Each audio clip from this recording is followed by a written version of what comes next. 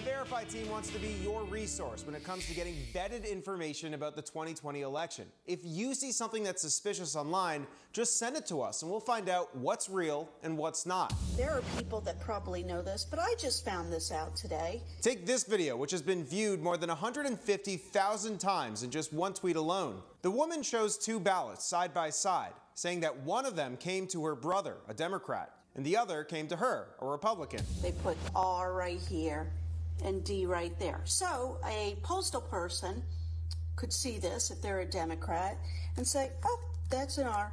Let's toss it. Let's just chuck it, and we'll keep this one. So let's verify. Were these envelopes labeled with an R or a D to indicate a political party? Our sources are the Palm Beach County Supervisor of Elections Office and the National Conference of State Legislatures. We started by tracing the video back to Palm Beach, Florida. On their website, the Palm Beach County Supervisor of Elections verifies that yes, these were labeled R and D for the voters' registered political party. But context is everything. A spokesperson for the Supervisor of Elections Office says that these envelopes in the video were used for voting in the primary. Florida has a closed primary, which means you can only cast your ballot for your registered party. When it comes to the general election, though, in November, the spokesperson tells us the envelopes will look the same for both parties. Quote, there'd be no way to tell the party affiliation of a voter based on their vote by mail ballot envelope. So we can verify that those labeled envelopes pictured in that video will not be used in November.